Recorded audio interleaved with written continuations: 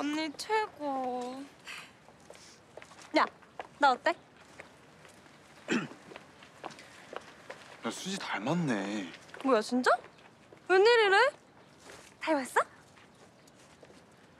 이렇게 보면 한 1프레임 정도 닮았어.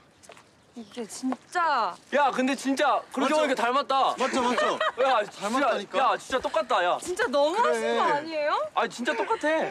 진짜 다들 너무해.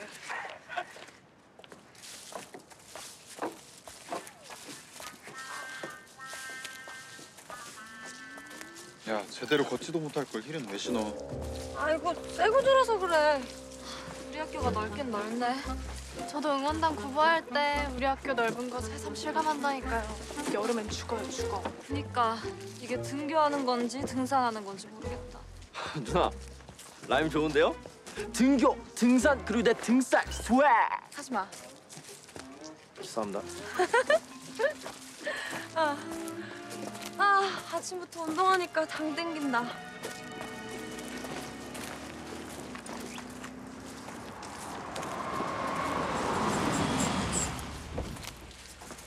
수업 가는 길이면 타.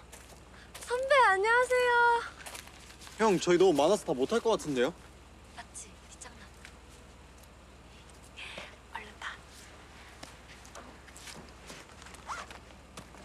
선배 그럼 제가 오늘 구두를 신어서 신세 좀 져도 될까요?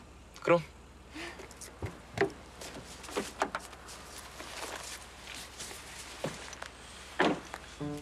아 잠깐만. 아 갑자기 다리에 쥐가 내렸나? 왜 이렇게 아프지?